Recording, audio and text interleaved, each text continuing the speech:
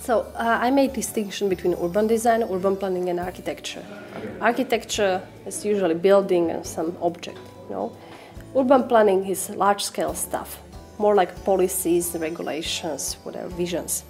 And then in between, we have urban design, which is something like semi-scale, you know, like, like design of public space. Uh, it's mostly like manual for public space that I, that I show. So it's usually about elements, but it's not too much about connection between elements. So I would maybe say uh, you can find gender perspective in everything, but uh, if urban design should serve as object or elements in public space, they have to be precisely, I would say, okay, awareness is important because many things we just don't know how we do we do, do them automatically. So first awareness, they are data arguments, research, who is doing and why I'm using this element in what connection. And the third thing uh, would be um, somewhat inclusive.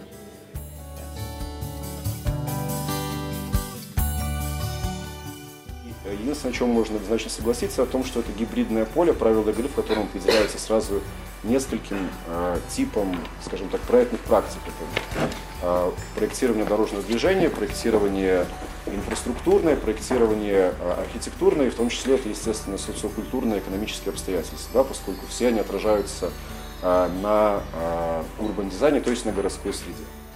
Большинство средовых объектов в городе Минске, которые существуют в принципе, по сути, попадают в категорию того, что называется а, в зарубежной терминологии undesigned.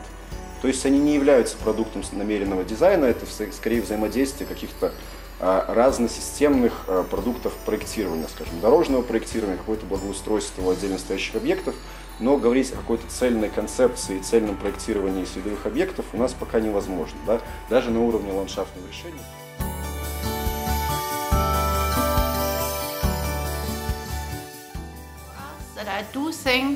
that we are able to make more appropriate architecture for the people while asking them. I don't want to say that we make better architects than any many other architects who just um, design a building, but I do think it fits with the people better, and that's amazingly satisfying if you finish the building and you see how well they can yeah, work, learn or live in this building.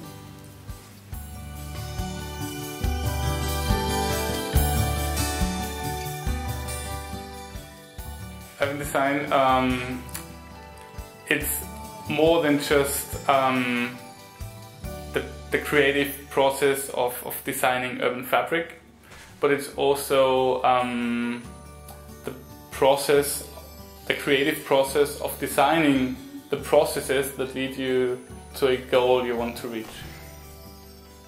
So it's the creativity is not only about designing, about shaping space, but also about designing the processes to reach those.